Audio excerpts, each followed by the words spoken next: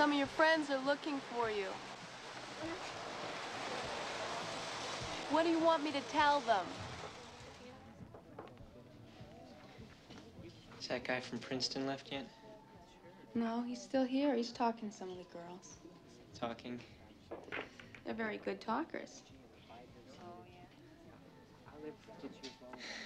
You know, I don't think I'm gonna say what the fuck anymore. I mean, this thing is. It's gotten way out of control. I'm gonna kill Miles. Oh, come on, Joel. Look, look at it this way. You're making some good money. You're providing your friends an invaluable service. I mean, God knows they needed the service. And right now, you're one hot shit future enterpriser. So don't worry so much.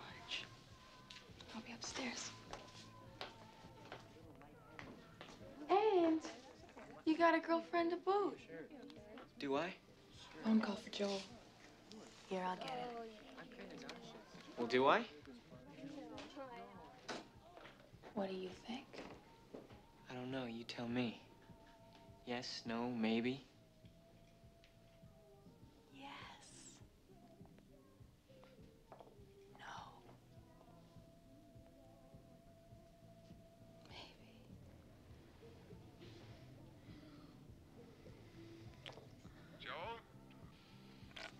Dad?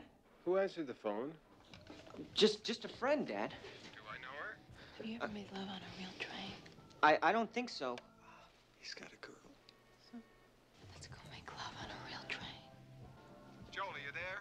Yeah, I, I, yeah, I'm still here, Dad. Uh, how's Mom? Is, is everything going okay? Come on, let's go. Did I hear others there? Uh, just a couple of friends, Dad. I'll get Vicky and the girls to help out. Maybe they'll do me a favor. Sounded like a party. A party? Come on, let's be alone together. I don't remember giving permission for a party, Joel. Honey, can you hear me? There's nothing wrong with having friends over. Just use your best judgment. We trust you.